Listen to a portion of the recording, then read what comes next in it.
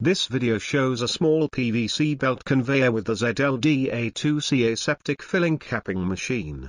Small customizable PVC belt conveyor is an optional unit of the ZLD series filling capping machine. You can choose the aluminum frame or stainless steel frame.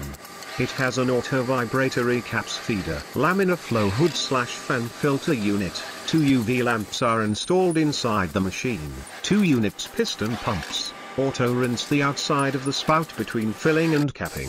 Auto discharge to the PVC belt conveyor. Except for manual hanging pouches, other processes are automatic, such as sending pouches, sending caps, filling, capping, pouch unloading, counting, etc.